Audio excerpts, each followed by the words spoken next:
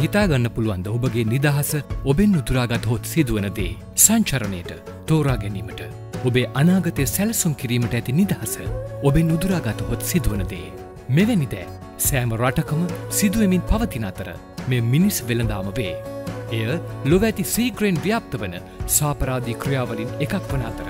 එමගින් ඇමරිකානු ඩොල දසලක්ෂ එකසිය පණහක වාර්ෂිකාදායමක් ජාවරම්කරුවන් විසින් උපයනු ලබයි. මිනිස් වෙළඳාම යනුවෙන් අදහස් කරන්නේ කුමක්ද. තම රටේදි හෝ පිටරටකදී සූරාකෑම අරමුණු කොටගෙන මිනිසුන් මිලදී ගැනීමත් විකිනීමත් සිදු කිරීමයි. තවද බලහත්කාරයෙන් වැඩිහිටියන් කාන්තාවන් හල් ළමුන් වැඩට යොදා ගැනීමයි. ලෝකෙපුරා මිලියන විස්සකට අධික ජනගහනයක් මිනිස්්චාවාරමේ ගොදුරු බවට පත්වී මෙම යථාර්ථයට මුහුණදී ඇත.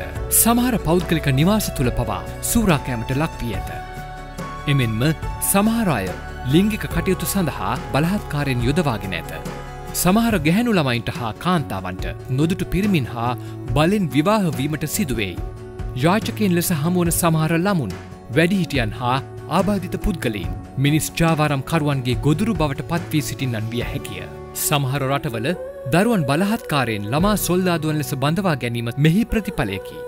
මිනිස් ජාවාරම් කරුවන් රැවටීම තුළින් හෝ බලෙන් මනුෂ්‍ය අවයව ලබාගෙන නිත්‍යනුකුල නොවනාකාරයට විකුණනු ලබයි. සමහර පුද්ගලීන් සූරාකෑමේ අවස්ථාවන්ට බලෙන් ගොදුරු කරගන්නා අතර යහපත් ජීවිතයක් සඳහා වන සිහින පෙන්පා ඔවුන්ව ඇදබැඳ ගනී.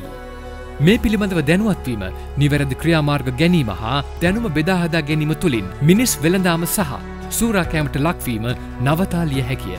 ඒ සඳහා අපගේ වෙබ් අඩවියට පිවිසන්න iom.org.